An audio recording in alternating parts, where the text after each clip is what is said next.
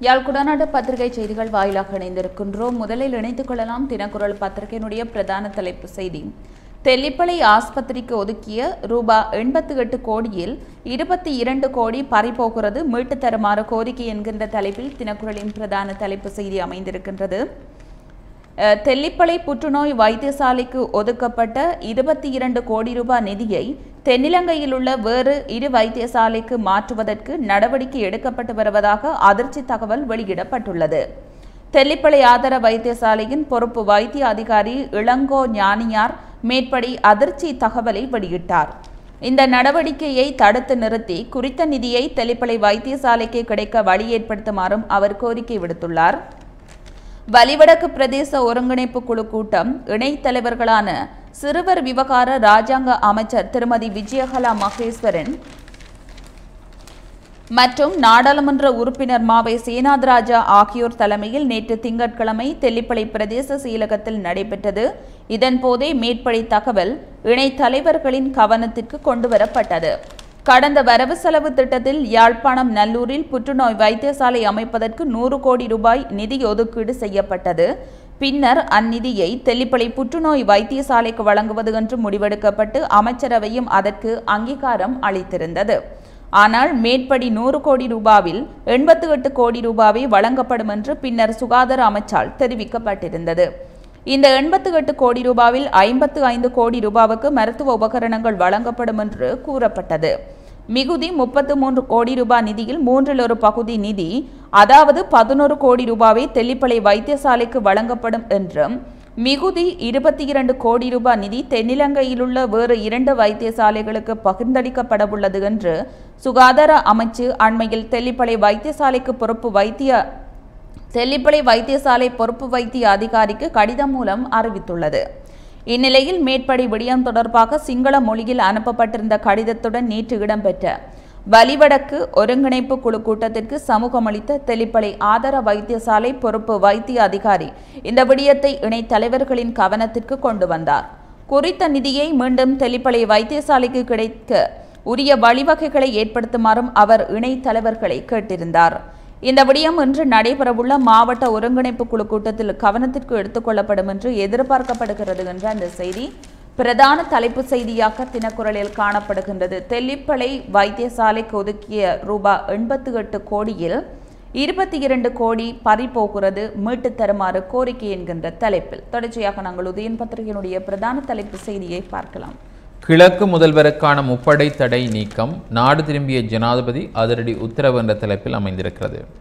கிழக்கு மாகாண முதலமைச்சர் ஹபீஸ் நசீர் அகமட் முப்படைகளது தளங்களுக்குள் நுழைவதற்கு விதிக்கப்பட்டிருந்த தடை உடன் நடைமுறைக்கு வரும் வகையில் நீக்கப்பட்டிருப்பதாக இராணுவ பேச்சாளர் பிரிகேடியர் ஜெயநாத் ஜெயவீர தெரிவித்தார். பாதுகாப்பு அமைச்சர் என்ற வகையில் ஜனாதிபதி மைத்ரிபால சிறிசேன பிறப்பித்த உத்தரவுக்கு அமையவே இந்த தடை நீக்கப்பட்டுள்ளது. இதற்கு கிழக்கு மாகாண முதலமைச்சர் ஜனாதிபதிக்கு நன்றி தெரிவித்திருக்கிறார். சம்பூர் மகாவித்தியாலயத்தில் கடந்த வாரம் நடந்த நிகழ்வில் கடற்படை அதிகாரி ஒருவரை கிழக்கு மாகாண முதலமைச்சர் கடுமையாக திட்டி அவமானப்படுத்தினார் என கூறி முப்படை முப்படைகளின் தளங்களுக்குள் நுழைவதற்கு கிழக்கு முதல்வருக்கு முப்படையினரும் கூட்டாக தடை விதித்தனர். அத்துடன் கிழக்கு முதல்வர் பங்கேற்கும் நிகழ்வுகளை புறக்கணிப்பதற்கும் படைத்தரப்பு முடிவெடுத்திருந்தது. இதனால் இலங்கை அரசியல் வட்டாரத்தில் பெரும் பரபரப்பு ஏற்பட்டிருந்தது. ஜி செவன் மாநாட்டில் பங்கேற்பதற்காக ஜப்பான் சென்றிருந்த ஜனாதிபதி மைத்ரிபால சிறிசேன நாடு திரும்பியதும் இது விடயம் குறித்து முடிவொன்றை எடுப்பார் என்றும் அதுவரை இருதரப்பினரும் கருத்துக்களை வெளியிடக்கூடாது என்றும் பிரதமர் ரணில் விக்ரமசிங்கே உத்தரவிட்டிருந்தார்.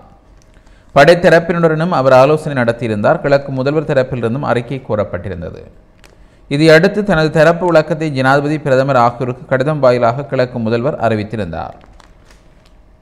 இவ்வாறான பின்புலத்தில் ஜப்பான் சென்றிருந்த ஜனாதிபதி நேற்று முன்தினம் மாலை நாடு திரும்பி இந்த விவகாரம் பற்றி தீவிரமாக ஆராய்ந்து தடை உத்தரவை நீக்கும் கட்டளையை பாதுகாப்பு அமைச்சர் என்ற வகையில் பிறப்பித்தார்.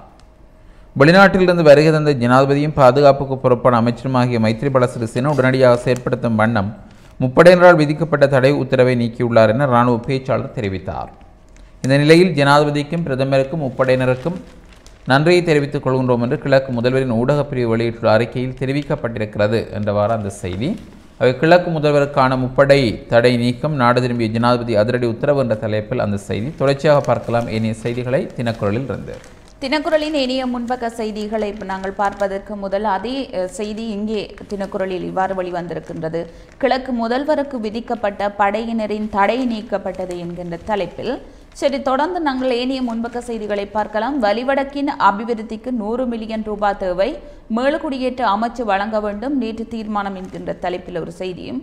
யுத்தத்தால் பெரும் அழிவை சந்தித்துள்ள வலிகாமம் வடக்கு பிரதேசத்தில் மக்களை மீள்குடியேற்றி அவர்களுக்கான வசதிகளை ஏற்படுத்தி கொடுப்பதற்கு மீள்குடியேற்ற அமைச்சிடம் முதல் கட்டமாக நூறு மில்லியன் ரூபாவை கோருவதற்கு தீர்மானிக்கப்பட்டுள்ளது. வலிகாமம் வடக்கு பிரதேச ஒருங்கிணைப்பு குழு கூட்டம் நேற்று திங்கட்கிழமை இணைத் தலைவர்களான பாராளுமன்ற உறுப்பினர் மாவை சேனாதராஜா மற்றும் சிறுவர் விவகார ராஜாங்க அமைச்சர் விஜயகலா மகேஸ்வரன் ஆகியோர் தலைமையில் தெளிப்பளை பிரதேச செயலகத்தில் நடைபெற்றது.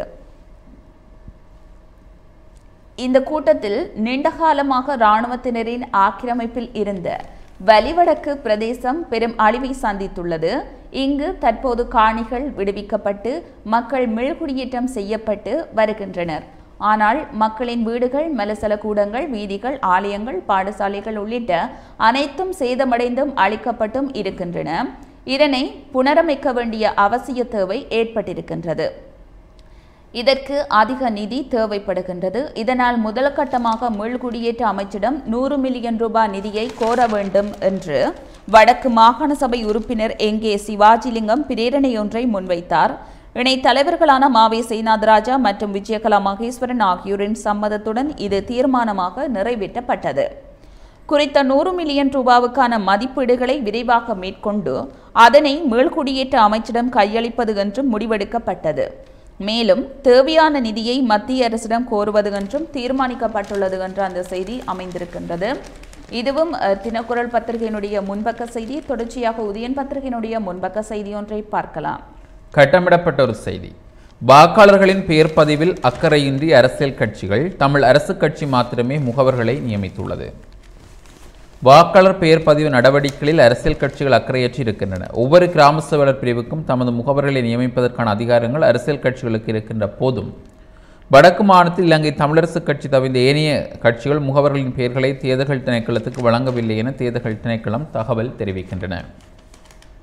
தேர்தல்கள் திணைக்களத்தில் பதிவு செய்யப்பட்ட ஒவ்வொரு கட்சிக்கும் முகவர்களின் பெயர்களை வழங்குமாறு கடிதம் அனுப்பி வைக்கப்பட்ட போதும். இலங்கை தமிழ் அரசு கட்சி மாத்திரமே முகவர்களை நியமித்துள்ளது. அதிலும் வவுனியா மாவட்டத்துக்கு தமிழ் அரசு கட்சியும் முகவர்களை நியமிக்கவில்லை. நடப்பு ஆண்டுக்குரிய வாக்காளர் பெயர் பட்டியல் தயாரிக்கும் நடவடிக்கைகள் தற்போது இடம்பெற்று வருகின்றன.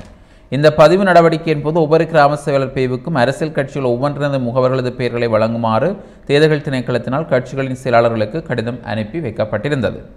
இதற்கு இலங்கை தமிழரசு கட்சி மாத்திரமே பதில் அளித்துள்ளது. இலங்கை தமிழரசு கட்சியும் யாழ்ப்பாண நிர்வாக மாவட்டத்தில் உள்ள பத்து தொகுதிகளுக்கு உரிய முகவர்களை நியமித்து இருக்கின்றது. இவர்கள் கிராம சேவர பிரிவுக்குரிய முகவர்களை நியமிக்க வேண்டும். இதுவரை பருத்தித்துறை தொகுதி தவிர்ந்த ஏனி ஒன்பது தொகுதிகளுக்கும் கிராம சேவர் பிரிவு ரீதியாக முகவர்களை இலங்கை தமிழரசு கட்சியும் நியமிக்கவில்லை. கிளிநொச்சி நிர்வாக மாவட்டத்தில் சகல கிராம சேவலர் பிரிவுக்கும் உரிய முகவர்கள் இலங்கை தமிழரசு கட்சியினால் நியமிக்கப்பட்டுள்ளனர். அதேபோன்று வன்னி தேர்தல் தொகுதியில் முல்லைத்தீவு மாவட்டத்தின் பெரும்பான்மையான கிராம சேவை பிரிவுக்கும் முகவர்கள் நியமிக்கப்பட்டிருக்கிறார்கள். மன்னார் மாவட்டத்துக்குரிய முகவர் மாத்திரம் நியமிக்கப்பட்டுள்ளார். கிராம சேவை பிரிவுக்கு முகவர்களை இலங்கை தமிழ் கட்சி நியமிக்கவில்லை. வவுனியா மாவட்டத்துக்கு முகவருக்கு வவுனியா மாவட்டத்துக்கு முகவரும் நியமிக்கப்படவில்லை. அகில இலங்கை தமிழ் காங்கிரஸ் ஈழ மக்கள் ஜனநாயக கட்சி ஐக்கிய தேசிய கட்சி ஸ்ரீலங்கா சுதந்திர கட்சி ஐக்கிய மக்கள் சுதந்திர முன்னணி ஆகிய பதிவு செய்யப்பட்ட கட்சிகள் கடந்த நாடாளுமன்ற தேர்தலின் போது போட்டியிட்டிருந்தன. ஆனால் இந்த கட்சிகள் வாக்காளர் பதிவு நடவடிக்கைகளுக்குரிய தங்களது முகவர்களை இதுவரை எந்த ஒரு கிராம சேவை பிரிவிலும் நியமிக்கவில்லை. இதேவேளை யாழ் மாவட்டத்தில் வாக்காளர் எண்ணிக்கை குறைவு காரணமாக நாடாளுமன்ற ஆசனம் ஏழிலிருந்து ஆறாக குறைவடைந்துள்ளமையும் குறிப்பிடத்தக்கது என்று அந்த செய்தி. ஆகவே வாக்காளர்களின் பெயர் பதிவில் அக்கறையின்றி அரசியல் கட்சிகள் என்ற தலைப்பில் அந்த செய்தி தொடர்ச்சியாக பார்க்கலாம். தினக்குறளுடைய செய்திகளை. தினக்குரலின் ஏனைய முன்பக்க செய்திகளாக மூன்று மாவட்டங்களை தவிர்த்து இன்று டாக்டர்கள் பகிஷ்கரிப்பு யாழ் டாக்டர்கள் வேலை நிறுத்தத்தில் பங்கு பெற்றவில்லை என்று மற்றொரு செய்தி அதனுடன் தொடர்புடைய செய்தியாக காணப்படுகின்றது. ஆகையினால் இன்று வைத்தியர்கள் ப- பகிஷ்கரிப்பு என்கின்ற செய்தியை முதலில் நாங்கள் பார்க்கலாம். வைத்தியர்கள் நியமனம் மற்றும் இடமாற்றங்களில் காணப்படும் அரசியல் தலையீடுகளுக்கு கண்டனம் தெரிவிக்கும் முகமாக அரச வைத்திய அதிகாரிகள் சங்கத்தினர் இன்றைய தினம் நாடு தழுவிய ரீதியில் அடையாள பகிஷ்கரிப்பில் ஈடுபட உள்ளனர். இயற்கை அனர்த்தத்தால் பாதிக்கப்பட்ட பகுதிகள் அடையாளப்படுத்தப்படும் கொழும்பு கேகாலை கம்பகா ஆகிய மூன்று மாவட்டங்களை தவிர்ந்த ஏனைய மாவட்டங்களில் இந்த பணி பகிஷ்கரிப்பு முன்னெடுக்கப்படும் என அரச வைத்திய அதிகாரிகள் சங்கத்தினர் தெரிவித்துள்ளனர். அரச வைத்திய அதிகாரிகள் சங்கத்தின் தலைமை அலுவலகத்தில் நேற்று திங்கட்கிழமை நடைபெற்ற ஊடகவியலாளர் சந்திப்பில் கலந்து கொண்டு கருத்து வெளியிட்ட அரச வைத்திய அதிகாரிகள் சங்கத்தின் சஞ்சிகை ஆசிரியரான சமந்த ஆனந்த தெரிவித்துள்ளார். வைத்திய நியமனம் மற்றும் இடமாற்ற செயல்பாடு சுகாதார அமைச்சின் பணிப்பாளர் நாயகம் தலைமையிலான இடமாற்ற சபையினால் முன்னெடுக்கப்படுகின்றது. வைத்திய நியமனம் மற்றும் இடமாற்றம் தொடர்பில் சட்ட ரீதியான பொறிமுறையொன்று காணப்படுகின்ற நிலையில் அரசியல் தலையீடுகள் காணப்படுகின்றன. வைத்தியர்களின் நிபுணத்துவம் மற்றும் அவர்களின் சேவையை கொண்டு நியாயமான முறையில் இந்த இடமாற்ற நடவடிக்கை முன்னெடுக்கப்படும் என்பது குறிப்பிடத்தக்க விடயம் ஆகும். ஒரு இரவில் நடக்கும் இது ஒரு இரவில் நடக்கும் செயல்பாடல்ல. மாவட்ட சுகாதார பணியகத்திலிருந்து வைத்தியசாலைகளுக்கு உள்ள வெற்றிடங்கள் குறித்த தரவுகள் பெற்றுக்கொள்ளப்படும் அதனை அடிப்படையாக கொண்டே வைத்தியர்களின் இடமாற்ற நடவடிக்கை முன்னெடுக்கப்படும். இந்த இடமாற்ற சபையில் அரச வைத்திய அதிகாரிகள் சங்கத்தின் பங்களிப்பும் காணப்படுகின்றது. வைத்தியர்களை பிரதிநிதித்துவப்படுத்தும் அமைப்பு என்ற ரீதியில் எமக்கு அந்த அந்தஸ்து வழங்கப்பட்டுள்ளது. பின்தங்கிய கிராமங்களுக்கும் நகரத்தில் காணப்படும் வைத்திய சேவையை பெற்றுக் கொடுப்பதே இந்த இடமாற்றத்தின் நோக்கமாகும். அரசியல் தலையீட்டின் காரணமாக மருத்துவத்துறை வீழ்ச்சியடையும் என்பதில் எந்த சந்தேகமும் இல்லை. மேற்படி வைத்திய நியமனத்தில் காணப்படும் அரசியல் தலையீட்டை கண்டித்து முன்னெடுக்கப்படும் பணி பகிஷ்கரிப்பானது. என்று முன்னெடுக்கப்படவுள்ளது. அண்மையில் அனர்த்தங்கள் இடம்பெற்ற மாவட்டங்களான கொழும்பு கேகாலை கம்பகா ஆகிய மூன்று மாவட்டங்களில் தவிர்ந்த ஏனைய அனைத்து பிரதேசங்களிலும் இது முன்னெடுக்கப்படும். குறிப்பாக அனர்த்தத்தால் பாதிக்கப்பட்டவர்களின் நன்மை கருதியே இந்த தீர்மானம் அரச வைத்திய அதிகாரிகள் சங்கத்தின் மத்திய செயற்குழுவினால் எடுக்கப்பட்டது. அத்தோடு பொதுமக்களின் அவசர தேவை கருதி சிறுவர் வைத்தியசாலைகள் மகப்பேற்று வைத்தியசாலைகள் புற்றுநோய் பிரிவுகள் சிறுநீரக நோய் பிரிவுகளில் எவ்வித வைத்திய பணி பகிஷ்கரிப்பும் இடம்பெறாதென அரச வைத்திய அதிகாரிகள் சங்கம் தீர்மானித்துள்ளது. அத்துடன் வைத்தியசாலைகளின் அவசர பிரிவின் நடவடிக்கைகளுக்கு பாதிப்பு ஏற்படாத வகையில் வைத்தியர்கள் தமது பணி பகிஷ்கரிப்பினை முன்னெடுக்க வேண்டுமென அரச வைத்திய அதிகாரிகள் சங்கம் தெரிவிக்கின்றது. காலை எட்டு மணிக்கு ஆரம்பிக்கும் இந்த பணி பகிஷ்கரிப்பு மதியம் பன்னிரண்டு மணி வரை நடைபெறும் எனவும் வைத்தியசாலையின் முன்பாக தமது எதிர்ப்பினை அமைதியான முறையில் வைத்தியர்கள் முன்னெடுப்பார்கள் எனவும் அவர் தெரிவித்ததாக அந்த செய்தி. அதனுடன் தொடர்புடைய மற்றொரு செய்தி யாழ் டாக்டர்கள் வேலை நிறுத்தத்தில் பங்கு பெற்றவில்லை என்று காணப்படுகிறது. நாடு முழுவதும் இன்று செவ்வாய்க்கிழமை நடைபெறவுள்ளதாக அறிவிக்கப்பட்டுள்ள அரசு வைத்திய அதிகாரிகள் சங்கத்தினரின் வேலைநிறுத்த போராட்டத்தில் யாழ் மாவட்டத்தின் மாகாண வைத்தியசாலைகளில் பணியாற்றும் வைத்தியர்கள் பங்கு கொள்ள மாட்டார்கள் என யாழ் மாவட்ட வைத்தியர்களின் சார்பில் அறிவிக்கப்பட்டுள்ளது.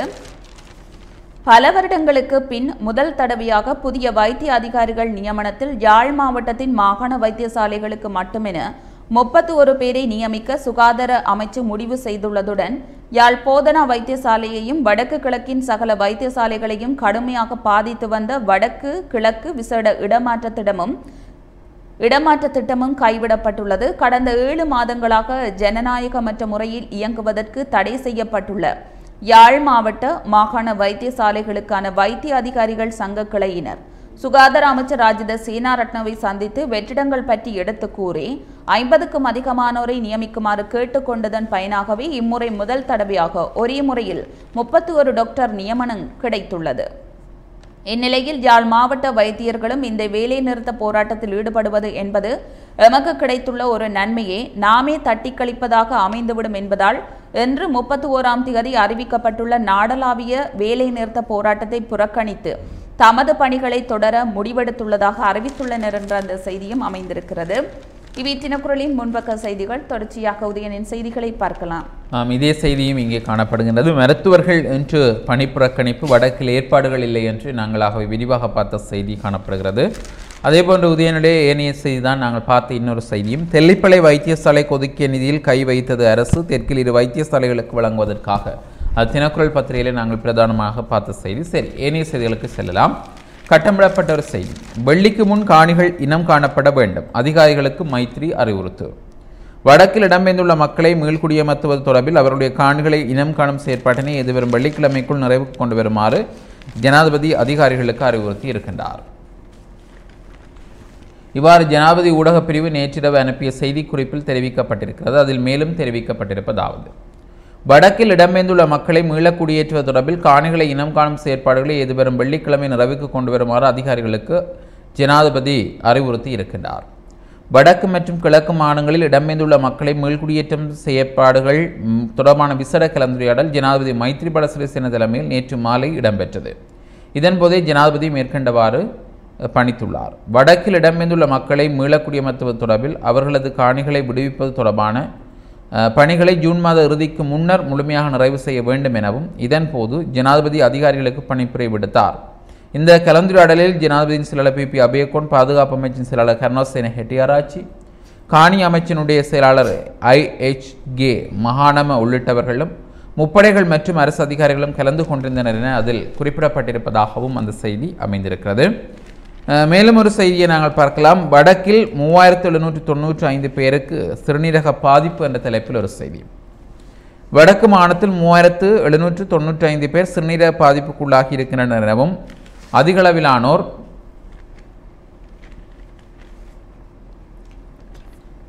அதிகளவிலானோர் மா வவுனியா மாவட்டத்திலேயே பாதிப்புக்குள்ளாகி இருக்கின்றார்கள் என்றும் இவ்வாறு வடக்கு மாகாண சுகாதார திணைக்கள பணிப்பாளர் திருமதி ஜூட் தெரிவித்திருக்கின்றார் என்றும் கூறப்பட்டிருக்கிறது.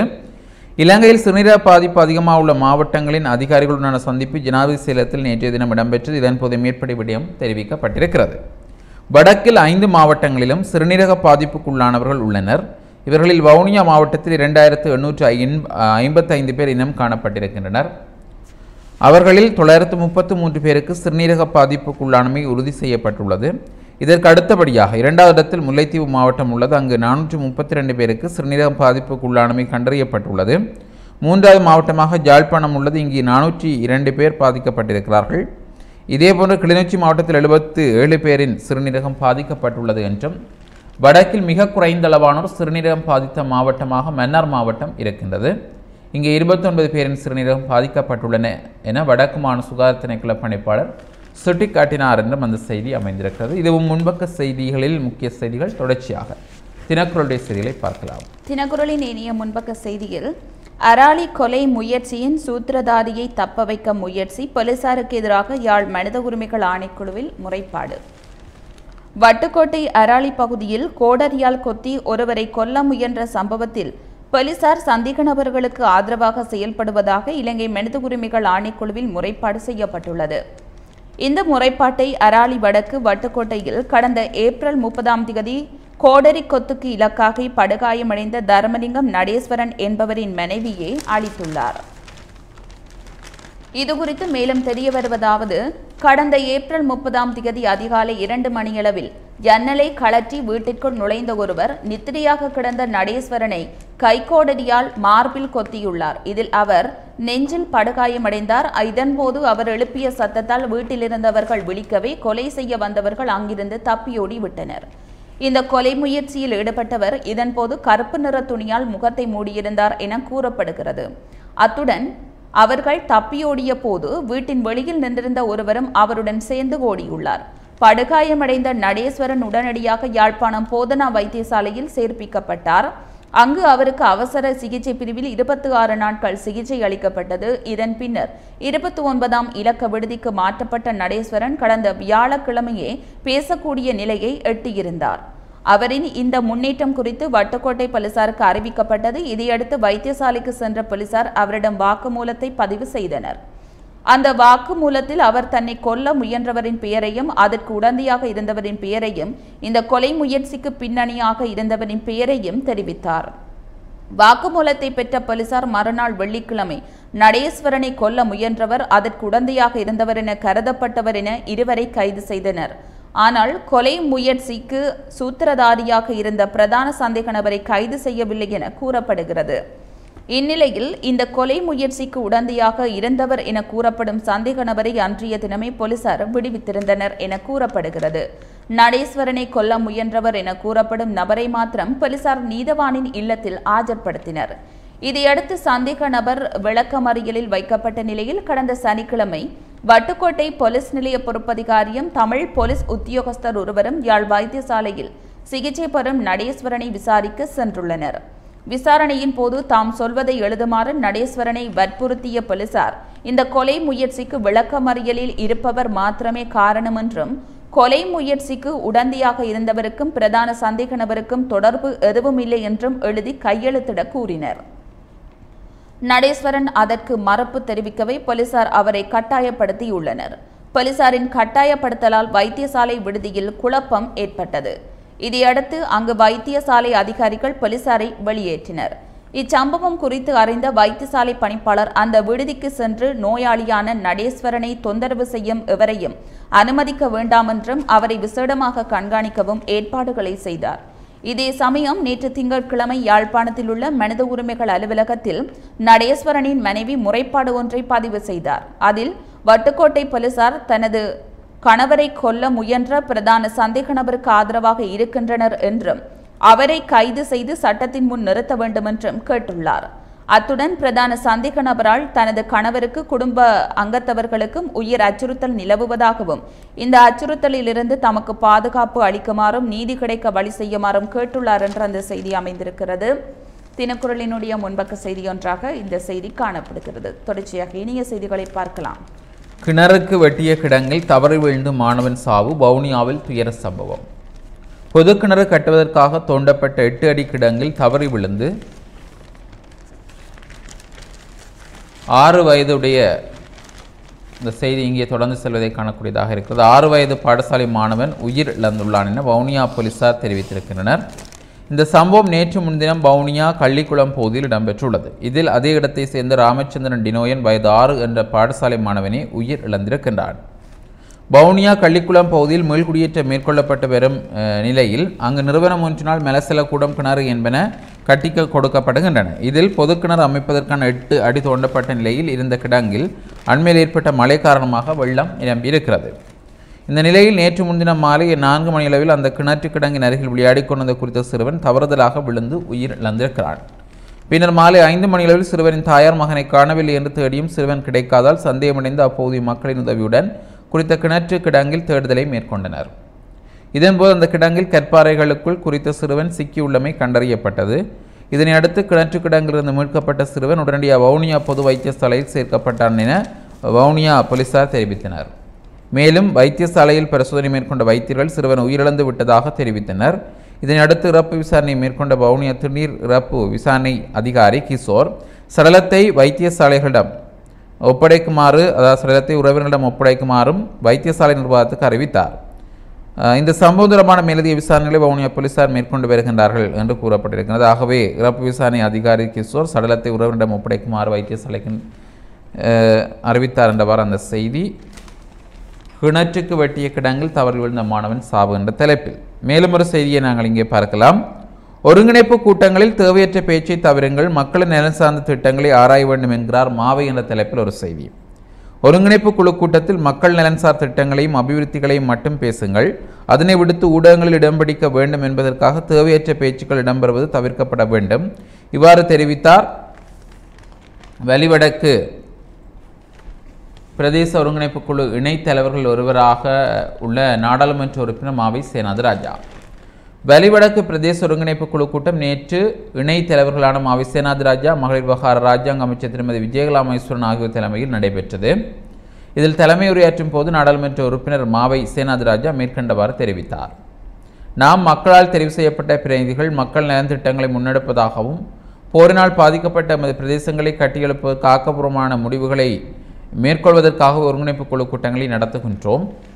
சில ஒருங்கிணைப்பு குழு கூட்டங்களில் ஊடகங்களில் இடம் பிடிக்க வேண்டும் என்பதற்காகவே சேவையற்ற பேச்சுக்களை பேசுவதும் அரசு அதிகாரிகள் மீது குறை கூறுவதும் தவிர்க்கப்பட வேண்டும். யாராவது அரசு அதிகாரி மீது ஏதாவது குற்றம் காணப்பட்டால் நீங்கள் எழுத்தில் என்னிடம் தாருங்கள். நாம் அதற்கு நடவடிக்கைகளை மேற்கொள்வோம். அதை விடுத்து நீங்களும் அவர்களுடன் முரண்படக்கூடாது. ஊடகங்களும் பொறுப்புணர்வுடன் செயற்பட வேண்டும். மக்களுக்கு பயனுள்ள செய்திகளை பிரசுரிக்க வேண்டும். உண்மைக்கு புறம்பான தேவையற்ற செய்திகளை பிரசுரிக்கக்கூடாது என்றார் என்றும் அந்த செய்தி அமைந்திருக்கிறது. அடுத்து நாங்கள் ஒரு சிறிய வர்த்தக விளம்பர இடவெளியை தொடர்ந்து கொண்டு பத்திரிகைகளுடைய ஏனைய செய்திகளுடன் இணைந்திருக்கலாம்.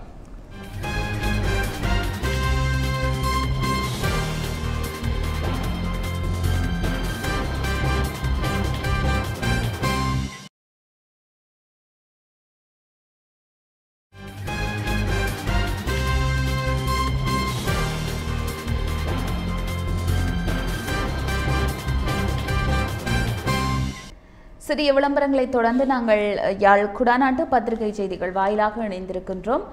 அந்த வகையில் தொடர்ச்சியாக நாங்கள் தினக்குரலின் இனிய முன்பக்க செய்திகளையும் பார்க்கலாம். இருபத்தி நான்கு வாக்காளர் குறைந்தமையாலேயே யாழில் எம்பிக்கள் ஆறு ஆக குறைந்தது. இவ்வரிடம் முயன்றால் சீர் செய்யலாம் என்கின்ற தலைப்பில் ஒரு செய்தி அந்த செய்தி வெளிவந்திருக்கிறது. யாழ்ப்பாண தேர்தல் மாவட்டத்திற்குரிய பாராளுமன்ற ஆசனங்களின் எண்ணிக்கை ஏழிலிருந்து ஆறாக குறைவடைந்துள்ளது. இரண்டாயிரத்து பதினைந்தாம் ஆண்டிற்கான வாக்காளர் பெயர் பட்டியலில் இருபத்தி நான்கு வாக்காளர்களின் எண்ணிக்கை குறைவினாலேயே இந்த நிலைமை ஏற்பட்டுள்ளது என்று தேர்தல்கள் திணைக்கள வட்டாரங்கள் தெரிவித்தன. இரண்டாயிரத்து பதினாறாம் ஆண்டு வாக்காளர் பெயர் பட்டியலுக்கான பதிவுகள் தற்போது இடம்பெற்று வருகின்ற நிலையில் இந்த ஆண்டு தகுதியுடைய சகலரையும் பதிவு செய்ய வைப்பதன் மூலம் இந்த எண்ணிக்கை மாற்றத்தை சரி செய்ய முடியும் என்றும் தேர்தல்கள் திணைக்களத்தின் உயர் அதிகாரியொருவர் தெரிவித்துள்ளார். இரண்டாயிரத்து பதினைந்தாம் ஆண்டு வாக்காளர் பெயர் பட்டியலின் அடிப்படையில் யாழ்ப்பாண தேர்தல் மாவட்டத்தில் அதாவது யாழ்ப்பாணம் தொடக்கம் கிளிநொச்சி நிர்வாக மாவட்டங்களை உள்ளடக்கியது. ஐந்து லட்சத்து முப்பத்து ஒன்பதாயிரத்து அறுநூற்று நாற்பத்தி ஒரு பேர் வாக்காளர்களாக பதிவு செய்யப்பட்டுள்ளனர். ஒவ்வொரு மாவட்டத்துக்கும் பதிவு செய்யப்பட்ட வாக்காளர் எண்ணிக்கையின் அடிப்படையில் தேசிய ரீதியிலேயே பாராளுமன்ற ஆசனங்கள் கணக்கிடப்படும். இதன் அடிப்படையில் யாழ்ப்பாண தேர்தல் மாவட்டத்திற்கு ஆறு ஆசனங்களே கிடைக்கப் பெற்றுள்ளன. இரண்டாயிரத்து பதினான்காம் ஆண்டு வாக்காளர் பெயர் பட்டியலின் அடிப்படையில் ஏழு ஆசனமாக இருந்த யாழ்ப்பாண மாவட்டம் இரண்டாயிரத்து பதினைந்தாம் ஆண்டு பட்டியலின் அடிப்படையில் ஆறு ஆசனமாக குறைந்துள்ளது. இரண்டாயிரத்து பத்தாம் ஆண்டு வாக்காளர் மீளாய்வு மேற்கொள்வதற்கு முன்னதாக யாழ்ப்பாண தேர்தல் மாவட்டத்தில் ஒன்பது பாராளுமன்ற ஆசனங்கள் இருந்தன. மீளாய்வு ஆஹ், மீளாய்வின் பின்னர் ஆறு ஆசனங்களாக குறைவடைந்தது. பின்னர் இரண்டாயிரத்து பன்னிரெண்டாம் ஆண்டுடன் அது ஏழாக அதிகரித்தது. தற்போது மீளவும் குறைவடைந்துள்ளமை குறிப்பிடத்தக்கது என்று அந்த செய்தியும் காணப்படுகின்றது. இது முன்பக்கத்தில் இடம்பெற்ற ஒரு செய்தியாக காணப்படுகின்றது. தொடர்ச்சியாக நாங்கள் பார்க்கலாம் உதயன் பத்திரிகையினுடைய செய்திகளை. முதலாம் தரத்துக்கான மாணவர் அனுமதிக்கு விண்ணப்பம் கோரல். இரண்டாயிரத்தி பதினேழாம் ஆண்டுக்கான அரச பாடசாலைகளுக்கு முதலாம் தரத்தில் மாணவர்களை சேர்த்துக் கொள்வதற்காக விண்ணப்பங்கள் விநியோகிக்கும் நடவடிக்கை ஆரம்பிக்கப்பட்டுள்ளது. விண்ணப்பங்களை அல்லது அவை தொடர்பான மேலதிக தகவல்களை கல்வி அமைச்சின் அதிகாரப்பூர்வ இணையதளமான W W W dot MOE dot GOV dot எல்கேக்கு சென்று பெற்றுக்கொள்ள முடியும். மீண்டும் அந்த தளத்தினுடைய முகவரியை நாங்கள் சொல்லுகின்றோம். W W W dot MOE dot GOV dot LK ஆகவே மேலும் ஜூன் முப்பதாம் தேதிக்கு முன்னர் எந்தவித விண்ணப்பங்களும் ஏற்றுக்கொள்ளப்பட மாட்டாது என கல்வி அமைச்சு தெரிவித்திருக்கிறது. ஆகவே ஜூன் முப்பதாம் தேதிக்கு முன்னர் இந்த விண்ணப்பங்களை பெற்றுக்கொள்ள வேண்டும் என்பது இங்கே முக்கிய ஒரு விடயம். அடுத்து ஒரு செய்தி பார்க்கலாம். சாதாரணதர பரீட்சைக்கு விண்ணப்பிக்கலாம். ஜிசி சாதாரணதர பரீட்சைக்கு விண்ணப்பிக்கும் காலம் இதுவரும் ஜூன் மாதம் பத்தாம் தேதி வரை நீடிக்கப்பட்டிருப்பதாக மாகாண கல்வி பணிப்பாளர் சென உதயகுமார் தெரிவித்தார். பாடசாலை அதிபர்களும் வெளிவாரியாக விண்ணப்பிக்கும் மாணவர்களும் கவனத்தில் எடுக்குமாறும் இதுவரை விண்ணப்பிக்க தாமதமானவர்கள் தொடர்பில் கவனம் செலுத்தில் கவனத்தில் எடுத்து விண்ணப்பிக்குமாறும் அவர் கேட்டிருக்கின்றார் என்றவாறு அந்த செய்தியும் அமைந்திருப்பதை காணக்கூடியதாக இருக்கின்றது. இவை முக்கிய செய்திகளாக இன்று உதயன் பத்தினுடைய முன்பக்க செய்திகளாகவும் அமைந்திருக்கிறது. தொடர்ச்சியாக நாங்கள் தினக்குடைய செய்தியை பார்க்கலாம். தினக்குரலின் இனிய முன்பக்க செய்தி கூட்டமைப்பின் அனுமதியின்றி பலாலியில் ஒரு சதுர அடியையும் அரசாங்கம் சுவீகரிக்க முடியாது என்று மாவை சேனாதராஜ் அவர்கள் தெரிவித்ததாக ஒரு செய்தி. வலிகாமம் வடக்கில் இராணுவத்தினால் ஆக்கிரமிக்கப்பட்டுள்ள பொதுமக்களின் காணிகள் விரைவில் விடுவிக்கப்படும் என்ற நம்பிக்கை தமக்கு இருப்பதாக தெரிவித்த தமிழ்த் தேசிய கூட்டமைப்பின் நாடாளுமன்ற உறுப்பினர் மாவை சேனாதராஜா பலாலி விமான நிலைய விஸ்தரிப்புக்காக எமது அனுமதியின்றி ஒரு சதுர அடி நிலத்தை கூட இனிமேல் சுவீகரிக்க முடியாது என்றும் கூறினார். வலிவடக்கு பிரதேச செயலக ஒருங்கிணைப்பு குழு கூட்டம் நேற்று வலிவடக்கு பிரதேச செயலகத்தில் இணைத்தலைவர்களான மாவி சீனாதராஜா மற்றும் சிறுவர் விவகார ராஜாங்க அமைச்சர் திருமதி விஜயகலா மகேஸ்வரன் ஆகியோர் தலைமையில் இடம்பெற்றது. இங்கு கருத்து தெரிவிக்கையிலேயே மாவை சீனாதராஜா மேற்கண்டவாறு கூறினார். மேற்படி கூட்டத்தில் மீள்குடியேற்றமும் அபிவிருத்தியும் தொடர்பில் ஆராயப்பட்ட வேளையில் அரசாங்கம் காணிகளை விடுவிப்பதாக கூறிக்கொண்டாலும் மயிலட்டி உட்பட முக்கியமான பல இடங்களை விடுவிக்காது என்று வடக்கு மாகாண சபை உறுப்பினர் சிவாஜிலிங்கம் தெரிவித்தார். இந்த கருத்தால் அதிருப்தி அடைந்த பொது அமைப்புகளின் பிரதிநிதிகள் எமது காணிகளை விடுவிப்பதாக அரசாங்கம் அறிவித்திருக்கிறது. அதற்கமையவே நாங்கள் பொறுமையாக இருக்கின்றோம். எனவே விரைவாக எமது காணிகளை விடுவித்து எங்களை சொந்த நிலங்களில் மீள குடியமர்த்துங்கள் என்ற கோரிக்கை விடுத்தார். இதன்போது பதிலளித்த இணைத் தலைவர்களில் ஒருவரான மாவி சேனாத் ராசா ஆக்கிரமிக்கப்பட்ட காணிகளை அரசாங்கம் விரைவாக விடுவிக்கும் அந்த நம்பிக்கையும் எங்களுக்கு இருக்கின்றது. எங்களுக்கு பலாலி விமான நிலைய விஸ்தரிப்பிற்காக பொதுமக்களின் காணிகள் அபகரிக்கப்பட மாட்டாதென அரசாங்கமும் இந்த விமான நிலைய விஸ்தரிப்பு பணிகளை மேற்கொள்கின்ற இந்தியாவும் உறுதிமொழிகளை வழங்கி இருக்கின்றன. பலாலியில் விமான நிலைய விஸ்தரிப்புக்காக காணியை சுவீகரிக்கும் முயற்சிகள் முன்னெடுக்கப்பட்டது என்பது உண்மைதான். அரசின் அத்தகைய செயல்பாடுகள் எமக்கு கவலையை ஏற்படுத்தியிருந்தன. ஆனாலும் தற்போது அதனை தடுத்து நிறுத்தியிருக்கின்றோம். இந்த விவகாரம் தொடர்பாக முன்னாள் ஜனாதிபதி சந்திரிகா பண்டரநாயக்க குமாரதுங்கவுடனும் பேசி இருக்கின்றோம் பிரதமருடனும் பேசி இருக்கின்றோம் பிரதமருடனும் பேச உள்ளோம் மன்னிக்கவும் பேசியுள்ளோம். இதன்போது காணி சுவீகரிக்கப்பட மாட்டாதென்ற இணக்கப்பாடுகளும் எட்டப்பட்டுள்ளன. இந்த விஸ்தரிப்பு பணியை மேற்கொள்கின்ற இந்தியாவும் புதிதாக காணிகள் எவையும் சுவீகரிக்கப்பட மாட்டாதென தெரிவித்திருக்கிறது. மேலும் பலாலி விமான நிலையமானது சர்வதேச விமான நிலையமாக மாற்றப்பட போவதாகவே மாற்றப்பட போவதாகவும் அதற்காகவே காணிகள் சுவீகரிக்கப்பட போவதாகவும் பேசப்பட்டது. ஆனால் தற்போது பலாலி விமான நிலையத்தை பிராந்திய விமான நிலையமாகவே விஸ்தரிக்கப்பட உள்ளது. இதனால் மேலதிக காணிகள் சுவீகரிக்கப்பட மாட்டாது என அதனை புனரமைக்கின்ற இந்தியாவும் எமக்கு தெரிவித்துள்ளது. அவ்வாறு ஏதும் தேவைப்படினும் எங்களிடமே கேட்க வேண்டுமென்றார் மாவை சீனாது ராசா இதன்போது அங்கு நின்ற மக்கள் இனியும் காலம் தாழ்த்தாது. எமது சொந்த நிலங்களை விரைவாக விடுவிக்க வேண்டுமென வலியுறுத்தி இருந்தனர். அரசாங்கம் காணியை விடுமென்ற நம்பிக்கை இருக்கிறது. பொறுமையாக இருங்கள் என்று மாவி சேனாதராஜா மீண்டும் தெரிவித்ததாக அந்த செய்தி அமைந்திருக்கிறது. இறுதிச் செய்தியாக காணப்படுகின்றது. அறுபத்து ஐந்து தமிழ் அரசியல் தமிழ் கைதிகள். அறுபத்து ஐந்து தமிழ் அகதிகள் தடுப்புவதை தடுக்க இந்திய கடற்படை தேடுதல். தமிழக போலீசார் உசார் நிலையில் என்கின்ற தலைப்பில் ஒரு செய்தி. தமிழகத்தில் உள்ள இலங்கை அகதிகள் முகாம்களிலிருந்து மாயமான அறுபத்து ஐந்து அகதிகள் ஆஸ்திரேலியா செல்ல திட்டமிட்டிருப்பதாக கிடைத்த தகவலின் பேரில் தூத்துக்குடியில் முகாமிட்டு இந்திய உளவு பிரிவு போலீசார் தீவிர விசாரணை நடத்தி வருகின்றனர். தமிழ்நாட்டில் பல்வேறு இடங்களில் இலங்கை அகதிகள் முகாம்கள் உள்ளன.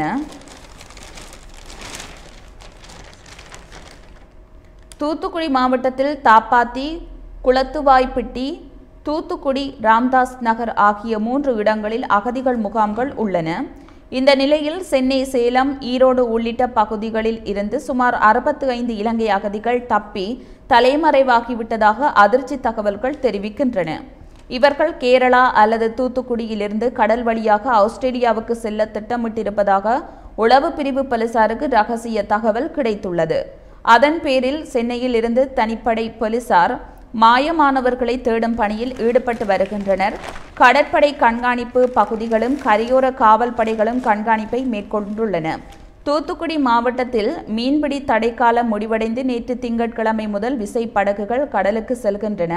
இதனால் போலீசார் கண்காணிப்பு பணியை தீவிரப்படுத்தியுள்ளனர். அதே நேரத்தில் கேரளாவில் பதுங்கி இருக்க வாய்ப்பு இருப்பதாக கருதி அங்கும் ஒரு தனிப்படை போலீசார் விரைந்துள்ளனர் என்று அந்த செய்தி அமைந்திருக்கிறது. இவை இன்றைய நாளில் வெளிவந்த தினக்குரல் பத்திரிகையினுடைய முன்பக்க செய்திகளாக காணப்படுகின்றன. தொடர்ச்சியாக நாங்கள் உதயன் பத்திரிகையினுடைய உட்பக்க செய்திகளை பார்க்கலாம். ஆம் உதயனுடைய செய்திகளில் உட்பக்கம் நான்கு லட்சம் ரூபாய் பணத்துடன் புத்தளம் நபர் தலை மறைவு. ஓட்டோ ஒன்றை விற்பதாக தெரிவித்து ஆயுர்வேத வைத்தியர் ஒருவரின் நான்கு லட்சம் ரூபாய் பணத்துடன் புத்தளத்தை சேர்ந்த தரகு வியாபாரி ஒருவர் தலைமறைவாகியுள்ளார் என்று பருத்தித்துறை போலீஸ் நிலையத்தில் முறைப்பாடு செய்யப்பட்டுள்ளது. யாழ் நகரத்தைச் சேர்ந்த ஆயுர்வேத வைத்தியர் ஒருவர் தனது நண்பர் பருத்தித்துறை தம்பசெட்டி பகுதியில் உள்ள ஒருவரிடம் ஓட்டோ ஒன்றை வாங்குவதற்கு விலை பேசியிருந்தார். ஓட்டோவை பார்வையிட வருமாறு தம்பசெட்டி பகுதியில் வசித்த புத்தளம் புத்தளத்தைச் சேர்ந்த நபர் வைத்தியருக்கும் அவரது நண்பருக்கும் தெரிவித்துள்ளார். அதன் அடிப்படையில் வைத்தியரும் அவரது நண்பரும் ஓட்டோவை பார்வையிடுவதற்கு சென்றுள்ளனர். இதன்போது பணத்தையும் கொண்டு சென்றுள்ளனர்.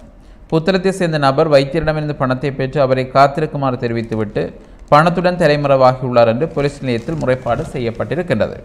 பருத்தித்துறை போலீசார் இந்த சம்பவம் தொடர்பில் விசாரணைகளை ஆரம்பித்துள்ளனர் என்றும் தெரிவிக்கப்பட்டிருப்பதாக ஒரு செய்தி. முல்லைத்தீவில் காணியற்றவர்களுக்கு இரு இடங்களில் காணி வழங்க பரிந்துரை என்ற தலைப்பில் ஒரு செய்தி. முல்லைத்தீவு மாவட்டத்தில் காணியற்றவர்களுக்கான காணிகளை இனம் கண்டு அதற்கான பரிந்துரை வழங்க அமைக்கப்பட்ட படக்குழுவினர் இரு இடங்களில் காணி வழங்குவதற்கான முடிவை எட்டியுள்ளனர். இது தொடர்பில் கடந்த வாரம் மாவட்ட செயலத்தில் இடம்பெற்ற கலந்துரையாடலில் இந்த முடிவு எட்டப்பட்டது. முல்லைத்தீவு மாவட்டத்தில் காணி அற்றவர்கள் கடந்த காலங்களில் காணி கோரி விண்ணப்பித்திருந்தனர். இனம் கண்டு அதற்கான பரிந்துரையை வழங்குவோர் குழு அமைக்கப்பட்டுள்ளது. அவர் அமைக்கப்பட்ட குழுவினர் இரு இடங்களில் காணி வழங்குவதற்கான முடிவை எட்டியிருக்கின்றனர். கூழாமுறிப்பு மற்றும் முறிப்பு பகுதியில் உள்ள அஹ், கொத்தம்பியா குளம் பகுதிகளில் இனம் காணப்பட்ட காணிகளையே வழங்க பரிந்துரை செய்திருக்கின்றனர். குறித்த இரு இடங்களும் முஸ்லிம் மக்களுக்கு காணி வழங்கப்படுவதற்கு இனம் காணப்பட்டிருந்தது என்றும் காணி விநியோக பரிந்துரை குழுவில் மாவட்ட சில பிரதேச செயலாளர் வணக்க வன இலாகா அதிகாரி காணி உத்தியோகஸ்தர் மற்றும் கொழும்பின் அதிகாரிகளும் உள் அடங்கியிருக்கின்றார்கள் என்றவாறு அந்த செய்தி. இதுவும் முக்கிய செய்தியாக அமைந்திருக்கிறது. மேலும் ஒரு செய்தி தமிழீழ இனப்படுகொலைக்கு மெரினாவில் நினைவேந்தல். தமிழீழ இனப்படுகொலையின் ஏழாம் ஆண்டு நினைவேந்தல் நேற்று முன்தினம் ஞாயிற்றுக்கிழமை மாலை நான்கு மணி அளவில் சென்னை மெரினா கடற்கரையில் கண்ணகி சிலை அருகே மே பதினேழு இயக்கத்தின் சார்பில் நடைபெற்றது என்று அந்த அமைப்பின் சார்பில் வெளியிடப்பட்ட ஊடக குறிப்பில் தெரிவிக்கப்பட்டிருக்கிறது. இந்த நிகழ்வில் ஆயிரக்கணக்கான பொதுமக்களும் தமிழ் உணர்வாளர்களும் மாணவர்களும் தோழமை இயக்கங்களும் மற்றும் கட்சிகளைச் சேர்ந்தவர்களும் கலந்து கொண்டுள்ளனர். நினைவேந்தலுக்காக பல்வேறு படைப்பாளிகள் வழங்கிய ஓவியங்களும் காட்சிப்படுத்தப்பட்டுள்ளன. மேற்கு வங்கத்திலிருந்து நாடக கலைஞர்கள் சுஷாந்த தாஸ்போர் மற்றும் படுகொலைகள் குறித்த மையம் என்னும் மௌன நாடத்தை நிகழ்த்தினார் என்றும் பின்னர் ஈழப் போராட்டம் குறித்த நாடத்தை மாணவர்கள் நிகழ்த்தினர் என்றும் அனைவரும் மெழுகுபர்த்தி ஏந்தி இனப்படுகொலை செய்யப்பட்ட மக்களின் நினைவேந்தினர் என்றும் இனப்படுகொலையை மறக்க மாட்டோம் தமிழ விடுதலை மீட்கும் வரை ஓய மாட்டோம் என்றும் முழக்கங்களை எழுப்பினர் என்றும் அந்த செய்திகள் காணப்படுகின்றன. தொடர்ச்சியாக பார்க்கலாம் தினக்களுடைய உட்பக்க செய்திகளை. தினக்குரலின் உட்பக்க செய்திகளாக கேப்பாப்பிளவில் இளைஞன் மீது போலீசார் துப்பாக்கிச்சூடு சம்பவத்திற்கு சிவசக்தி ஆனந்தன் எம்பி கண்டனம். முல்லைத்தீவு கேப்பாப்பிளவு துப்பாக்கிச்சூட்டு சம்பவத்திற்கு பக்கச்சார்பற்ற பகிரங்க விசாரணை நடத்த வேண்டும் என வன்னி பாராளுமன்ற உறுப்பினர் சிவசக்தி ஆனந்தன் தெரிவித்துள்ளார். முல்லைத்தீவு கேப்பாப்பிளவில் இளைஞன் மீது துப்பாக்கிச்சூடு நடத்தியமைக்கு கண்டனம் தெரிவித்து வெளியிட்டுள்ள அறிக்கையிலேயே அவர் இவ்வாறு தெரிவித்துள்ளார். முல்லைத்தீவு கேப்பாப்பிளவு மாதிரி கிராமத்தில் வசித்து வரும் வி. தியீபன் என்பவரது வீட்டிற்கு கடந்த இருபத்தி எட்டாம் தேதி சிவில் உடையில் நுழைந்த இருவர் தம்மை போலீசார் என்று அடையாளப்படுத்தி கொண்டு அந்த இளைஞரை கைது செய்ய வந்துள்ளதாகவும் அதற்குரிய நீதிமன்ற பிடியானை தம்மிடம் இருப்பதாகவும் தெரிவித்துள்ளனர். அந்த இளைஞர் அந்த நீதிமன்ற பிடியாணையை தமக்கு காட்டுமாறு கோரிய போது காட்ட மறுத்த அவர்கள் நீதிமன்ற பிடியானையை காட்ட காட்டாவிட்டால் வரமாட்டேன் என்று எதிர்ப்பு தெரிவித்த இளைஞன் மீது துப்பாக்கிச் சூட்டை மேற்கொண்டுள்ளனர். எனினும் அதிர்ஷ்டவசமாக அவருக்கு காயம் எதுவும் ஏற்படவில்லை. இந்த சம்பவத்திற்கு வன்னி மாவட்ட மக்களின் சார்பாக எனது கண்டனத்தை தெரிவிக்கின்றேன். சந்தேக நபர் உளவு இயந்திரத்தில் மணல் ஏற்றிச் சென்றதற்காக நீதிமன்றத்தில் வழக்கு நடைபெற்று வருவதாகவும் அவர் ஒவ்வொரு வழக்குக்கும் தவறாமல் சமூகம் அளித்து வருவதாகவும் நேற்று வழக்கு தவணை இருந்ததாகவும் தெரிவிக்கப்படுகிறது.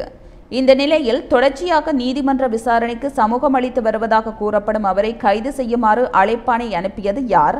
அழைப்பாணை விடுக்கப்பட்டுள்ளதாக கூறும் போலீசார் அதனை காட்ட மறுத்தது ஏன்? தப்பிச் செல்ல எத்தனிக்காத போலீசாரை தாக்க முற்படாத அந்த இளைஞன் மீது அதுவும் வீட்டிற்குள் வைத்து பேசிக் கொண்டிருக்கும் போதே அவர் மீது துப்பாக்கிச் சூடு நடத்துவதற்கு போலீசாருக்கு தேவை என்ன இருந்தது என்ற கேள்வியும் எழுந்திருக்கின்றன. ஆகவே இந்த சட்டவிரோத துப்பாக்கிச் சூட்டு சம்பவத்தை நடத்தியவர்கள் மீது பக்கச்சார்பற்ற பகிரங்க விசாரணை நடத்தி நீதிநிலை நாட்டப்பட வேண்டும் என்று சிவசக்தி ஆனந்தன் தெரிவித்ததாக அந்த செய்தி அமைந்திருக்கிறது. உட்பக்க செய்தி ஒன்றாக இந்த செய்தி அமைந்திருக்கிறது. தொடர்ந்தும் நாங்கள் பார்க்கலாம் உதயனின் செய்தியை. பேரனின் தாக்குதலினால் படுகாயமடைந்த வயோதிப பெண் சிகிச்சை பயனின்றி சாவு காரநகரில் சம்பவம். தனது அனுமதி கேட்டு வீட்டுக்குள் நுழையவில்லை என்று தெரிவித்து மனநிலை பாதிக்கப்பட்டவர் என்று கூறப்படும் இளைஞன் தனது அம்மம்மாவை தலையில் அடித்து தாழ்வாரத்தில் இழுத்து விட்டிருந்தார்.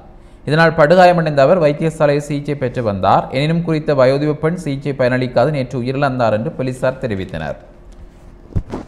இந்த சம்பவத்துடன் தொடர்புடைய இளைஞன் கைது செய்யப்பட்டு விளக்கமறையில் வைக்கப்பட்டுள்ளார் என்று போலீசார் குறிப்பிட்டனர். இந்த சம்பவம் காரநகர் சிவன் கோயிலுக்கு அருகில் பதினைந்து நாட்களுக்கு முன்னர் இடம்பெற்றது. இதில் அதே இடத்தைச் சேர்ந்த சுப்பிரமணியம் சீதாலட்சுமி வயது எழுபத்து மூன்று என்பவரே உயிரிழந்தார். இத்தொடர்பில் விசாரணைகளில் தெரிவிக்கப்பட்டுள்ளதாவது குறித்த வயோதிப பெண்ணின் மகளின் இருபத்தேழு வயதுடைய மகன் ஒருவர் மனநலம் பாதிக்கப்பட்டுள்ளார். அவரது தாயார் உட்பட எவராவது வீட்டுக்குள் நுழைய வேண்டும் என்றால் அந்த இளைஞனிடம் அனுமதி கேட்க வேண்டும். அவர் அனுமதித்தால் மட்டுமே வீட்டுக்குள் செல்ல முடியும். அனுமதி கிடைக்காது எனில் வீட்டுக்கு வெளியே தாழ்வாரத்தில் அல்லது முற்றத்தில் இருக்க வேண்டும். வீட்டுக்குள் இருப்பவர்கள் எவராக இருப்பினும் கதவை திறந்து வெளியே சென்றால் மரணிமிடமே வீட்டுக்குள் செல்வதாக இருந்தாலும் அந்த இளைஞனிடம் அனுமதி கேட்க வேண்டும். இந்நிலையில் குறித்த இளைஞனின் தாயார் கூலி வேலைக்காக பதினைந்து நாட்களுக்கு முன்னர் வீட்டுக்கு வெளியே சென்றுள்ள நிலையில் மழை காரணமாக வீடு திரும்ப முடியவில்லை. அன்றைய தினம் வீட்டில் குறித்த இளைஞனின் அம்மம்மா இருந்துள்ளார். தாயார் இல்லாததால் அவர் இரவு உணவை சாப்பிடுமாறு கூறியுள்ளார். அந்த இளைஞன் சாப்பிடவில்லை. இதனால் அந்த இளைஞனுக்கு சாப்பாடு போட்டு கொண்டிருந்த போது தனது அனுமதியின்றி சமையலறைக்குள் நுழைந்தார் என்று கூறி கதவின் உட்புறம் பாதுகாப்புக்காக போடும் ரீபே கொட்டனால் அம்மம்மாவின் தலையில் தாக்கியுள்ளார். பின்னர் அவரை இழுத்து சென்று தாழ்வாரத்தில் விட்டுவிட்ட இளைஞன் வீட்டுக்குள் சென்று விட்டான். மறுநாள் இளைஞனின் தாயார் வீடு திரும்பிய போது தனது தாய் இரத்த வெள்ளத்தால் தாழ்வாரத்தில் அனாதரவாக கிடப்பதைக் கண்டு மீட்டு அவரை வைத்தியசாலையில் சேர்த்தார். அவரது தலையில் சுமார் இருபத்தைந்து இலைகள் போடப்பட்டிருந்தன. எனினும் சிகிச்சை பயனளிக்காது. நேற்று காலை அவர் உயிரிழந்தார் என்று விசாரணையில் தெரிவிக்கப்பட்டுள்ளது. இது தொடர்பில் திடீர் ரப்பு விசாரணை அதிகாரி நானா பிரேம்குமார் மற்றும் போலீசார் விசாரணை மேற்கொண்டனர். விசாரணைகளின் பின்னர் சடலம் உறவினர்களிடம் ஒப்படைக்கப்பட்டது. தலையில் தாக்கியதாக குற்றம் சாட்டப்படும் மனநிலை பாதிக்கப்பட்ட இளைஞன் கைது செய்யப்பட்டு விளக்கமறில் வைக்கப்பட்டுள்ளார் என்றும் தெரிவிக்கப்பட்டுள்ளது என்று அந்த செய்தி அமைந்திருக்கிறது. மேலும் ஒரு செய்தி. நுரையீரல் நோய் பாதிப்பு ஏழு மாத குழந்தை உயிரிழப்பு. ஏழு மாத குழந்தை நுரையீரல் நோய் பாதிப்பு ஏற்பட்டதனால் நள்ளிரவில் உயிரிழந்தது என்று விசாரணையில் தெரிவிக்கப்பட்டுள்ளது. புதுக்குடியிருப்பு பத்தாம் வட்டாரத்தைச் சேர்ந்த கே. ஆகாஸ் என்ற குழந்தையை இவ்வாறு உயிரிழந்தது. உறவினர் வீட்டுக்கு வந்திருந்த அவர்கள் நேற்று முன்தினம் நள்ளிரவு வீட்டில் குழந்தைக்கு பாலூட்டிய பின்னர் தாயும் குழந்தையை நித்திரையாக்கியுள்ளனர். நேற்று காலை குழந்தை துடிப்பு எதுவும் காணப்படவில்லை. உடனடியாக அஜால் போதனா வைத்தியசாலை கொண்டு சென்றபோது குழந்தை ஏற்கனவே உயிரிழந்து விட்டதாக தெரிவிக்கப்பட்டது. பரிசோதனையில் குழந்தைக்கு ஈரலில் நோய் தொற்று ஏற்பட்டிருந்தமை தெரிய வந்ததாக விசாரணையில் தெரிவிக்கப்பட்டுள்ளது. திடீர் இறப்பு விசாரணை அதிகாரியான பிரேம்குமார் விசாரணை மேற்கொண்டார் என்ற தலைப்பிலும் அந்த செய்தி அமைந்திருக்கின்றது. தொடர்ச்சியாக பார்க்கலாம் தினக்குருடைய செய்திகளை. தினக்குரலின் இனிய உட்பக்க செய்திகளாக பாதுகாப்பு செயலாளருக்கு எதிராக அரசு நடவடிக்கை. சம்பூர் விவகாரத்தை கையாண்டது தொடர்பாக பாதுகாப்பு செயலாளருக்கு எதிராக அரசாங்கம் நடவடிக்கை எடுக்கக்கூடும் என்று ஆங்கில ஊடகம் ஒன்று செய்தி வெளியிட்டுள்ளது. கிழக்கு மாகாண முதலமைச்சர் பங்கேற்கும் நிகழ்வுகளை முப்படையினரும் புறக்கணிப்பதென்றும் அவரை முப்படையினரின் முகாம்களுக்குள் அனுமதிப்பதில்லை என்றும் பாதுகாப்பு அமைச்சு எடுத்த முடிவு பெரும் சர்ச்சையை ஏற்படுத்தியிருந்தது. முப்படைகளின் தளபதிகள் பாதுகாப்பு செயலர் கருணாசேன ஹெட்டியராச்சியுடன் கலந்துரையாடி இந்த முடிவை எடுத்திருந்தனர். ஆனால் இது அரசியலில் முப்படையினரின் நேரடி தலையீடு என்று கடும் விமர்சனங்கள் எழுந்துள்ள நிலையில் நேற்று முப்படைகளின் தளபதிகளும் அவசர ஆலோசனையொன்றை நடத்தினர். இதையடுத்து கிழக்கு முதல்வருக்கு எதிராக எடுக்கப்பட்ட முடிவுகளை கைவிடுவதென முப்படைகளினதும் தளபதிகள் தீர்மானித்தனர். இந்த முடிவு இராணுவ கடற்படை பேச்சாளர்கள் மூலம் வெளியிடப்பட்டுள்ளது. இதேவேளை கிழக்கு முதல்வரின் செயலுக்கு செயலுக்கு எதிர்வினையாக படைத்தரப்பு எடுத்த முடிவு முடிவை ஊடகங்களுக்கு பகிரங்கப்படுத்திய பாதுகாப்பு செயலருக்கு எதிராக அரசாங்கம் நடவடிக்கை எடுக்கக்கூடும் என்றும் உயர்மட்ட தகவல்கள் தெரிவிக்கின்றன என்ற ஒரு செய்தி. மற்றொரு செய்தியாக பயணச்சீட்டுகின்றி ரயிலில் பயணித்தால் மூவாயிரம் ரூபாய் அபராதம் என்கின்ற தலைப்பிலும் ஒரு செய்தி. பயண அனுமதி சீட்டு இன்றி ரயில்களில் பயணம் செய்வோரிடமிருந்து மூவாயிரம் ரூபாய் தண்டப்பணம் அறவிடப்படும் என்று இலங்கை ரயில்வே திணைக்களம் அறிவித்துள்ளது. இந்த நடைமுறை நாளை முதலாம் திகதி புதன்கிழமை முதல் அமலுக்கு வருவதாகவும் திணைக்களம் தெரிவித்துள்ளது. இதுவரை காலமும் ரயில்களில் பயணச்சீட்டின்றி பிரயாணம் மேற்கொண்டால் இரண்டாயிரத்து ஐநூறு ரூபாய் தண்டம் உட்பட பயணச்சீட்டிற்குரிய பணத்தின் பெறுமதியில் இரட்டிப்பு பணம் அறவிடப்படும் முறையே நடைமுறையில் இருந்து வந்தமை குறிப்பிடத்தக்கது என்றும் அந்த செய்திகள் அமைந்திருக்கிறது. தொடர்ந்தும் நாங்கள் ஏனைய செய்திகளாக உதயனின் செய்திகளை பார்க்கலாம். மரக்கரை கடல் உணவுகளின் விலைகளில் திடீர் அதிகரிப்பு குடநாட்டில் மரக்கரை மற்றும் கடல் உணவுகளின் விலைகள் திடீரென அதிகரித்துள்ளன. இந்த மாத நடுப்பகுதியில் காற்றுடன் கூடிய கனமழை பெய்ததால் மரக்கரை பயிர்களின் செய்கை பெரிதும் பாதிக்கப்பட்டன. அதன் காரணத்தால் மரக்கறிகளின் விலைகள் தினமும் அதிகரித்து செல்கின்றன. சகல மரக்கறி வகைகளும் கிலோ நூறுரூவாவுக்கு மேல் விற்கப்படுகின்றன. சந்தைகளில் மரக்கறிகள் பெரிய அளவு வந்து சேராதால் அவற்றுக்கு பற்றாக்குறையும் தட்டுப்பாடும் ஏற்பட்டுள்ளன. திருநெல்வேலி சுன்னாகம் மருதனாமடம் சங்காணி சாவகைச்சேரி கொடிகாமம் போன்ற பிரதான மரக்கறி சந்தைகளில் மரக்கறி வகைகளின் வருகை குறைந்தே காணப்படுகின்றது. தற்போது குடாநாட்டில் ஆலயங்களின் வருடாந்த மகோற்சவங்கள் இடம்பெற்று வருவதாலும் மற்றும் சுப வைபவங்களுக்கும் மக்கள் கூடுதலாக மரக்கறி வகைகளை பயன்படுத்தியும் வருகின்றனர். மரக்கரை வகைகளின் விலை அதிகரிப்பால் நுகர்வோர் பெரிதும் பாதிக்கப்பட்டுள்ளனர். இதே சமயம் கடல் உணவுகளின் விலைகளும் சடதியாக அதிகரித்துள்ளன. தற்போதைய காலநிலை மற்றும் பருவப்பேச்சு காற்று ஆரம்பித்துள்ளதால் கடல் உணவுகளின் பிடிபாடு திடீரென குறைந்துள்ளது. இதனால் கடல் உணவுகள் சந்தைகளுக்கு குறைந்தளவே வந்து சேருகின்றன. கொட்டடி பாசையூர் குருநகர் நாவாந்துறை காக்கிதீவு போன்ற மீன் சந்தைகளில் மீன் இறால் கணவாய் நண்டு போன்றவற்றின் விலைகள் அதிகரித்து காணப்படுகின்றன என்றவாறும் அந்த செய்தி காணப்படுகின்றது. மேலும் ஒரு செய்தியை பார்க்கக்கூடியதாக இருக்கின்றது. இனங்களுக்கிடையே உறவை ஏற்படுத்த வடக்கு முதலமைச்சர் முன்வர வேண்டும் சோபித தேரர் கோரிக்கை. இலங்கையில் இரண்டு இனங்களுக்கும் இடையில் உறவை ஏற்படுத்த வடக்கின் முதலமைச்சர் காவி விக்னேஸ்வரன் முன்வர வேண்டும். இவர் ஓமல்பே சோபித தேரர் கூறியுள்ளார். தேசிய கீதம் தமிழில் பாடப்பட்ட போது வடக்கு முதலமைச்சர் காவி விக்னேஸ்வரன் கூறிய விமர்சனத்தை அடிப்படையாக கொண்டே இந்த கோரிக்கை அவர் விடுத்துள்ளார். இது குறித்து அவர் மேலும் தெரிவித்ததாவது நல்லிணக்கத்துக்காக சிங்கள மக்கள் ஓர் அடி முன் வைத்தால் தமிழர்கள் பத்து அடிகளை முன்னோக்கி வைக்க தயார் என்று விக்னேஸ்வரன் தெரிவித்திருந்தார். எனினும் அண்மை காலங்களில் விக்னேஸ்வரன் மாறுபட்ட விதத்தில் செயற்பட்டு வருகிறார். எனவே இதனை விடுத்து நல்லிணக்கத்துக்காக விக்னேஸ்வரன் செயற்பட வேண்டும் என்றார் என்றும் இரண்டாயிரத்தி பதிமூன்றாம் ஆண்டு முதலமைச்சராக தெரிவு செய்யப்பட்ட பின்னர் கருத்துரைத்த விக்னேஸ்வரன் நீதித்துறையில் இருந்தவர் என்ற அடிப்படையில் தாம் தமிழர் சிங்களர் முஸ்லீம்கள் என்றவரையும் பிரித்து பார்ப்பதில்லை என்று குறிப்பிட்டிருந்தமையும் சோபிதர் இதன்போது சுட்டிக்காட்டியுள்ளார் என்றும் அந்த செய்தி அமைந்திருக்கிறது. தொடர்ச்சியாக பார்க்கலாம். ஏனைய செய்திகளை தினக்குரல் பத்திரிகையில் இருந்து. சூழலுக்கு பாதிப்பு ஏற்படுமானால் அரசு அதிகாரிகளை பொறுப்பு ஜனாதிபதி கடும் எச்சரிக்கை. ஏதேனும் ஒரு பிரதேசத்தில் சூழலுக்கு பாதிப்பு விளைவிக்கப்படும் பட்சத்தில் அதற்கு பொறுப்பாக உள்ள அரச உத்தியோகஸ்தர்களுக்கு எதிராக கடும் நடவடிக்கை எடுக்கப்படும் என ஜனாதிபதி மைத்திரிபால சிறிசேன எச்சரிக்கை விடுத்துள்ளார். தனது பொறுப்பினை உரியவாறு நிறைவேற்றும் அரச உத்தியோகஸ்தர்களை பாதுகாப்பதற்கு அரசு எந்நேரமும் பாடுபடுவது போன்று தனது கடமையை உரியவாறு நிறைவேற்றாத உத்தியோகஸ்தர்களுக்கு எதிராக நடவடிக்கை மேற்கொள்வதற்கு அரசு பின்னிற்காது எனவும் ஜனாதிபதி வலியுறுத்தியுள்ளதாக அந்த செய்தி தொடர்ந்தும் செல்கின்றது. ஒருங்கிணைப்பு குழு கூட்டத்தில் சண்டை பிடிக்க முயற்சிக்காதீர்கள். வடமாகாண சபை உறுப்பினர்களுக்கு மாவை அறிவுரை. வடக்கு மாகாண சபை உறுப்பினர்களுக்கு சண்டை பிடிக்க வேறு இடம் இருக்கின்றது. நீங்கள் அங்கு சென்று சண்டை பிடிக்கலாம்.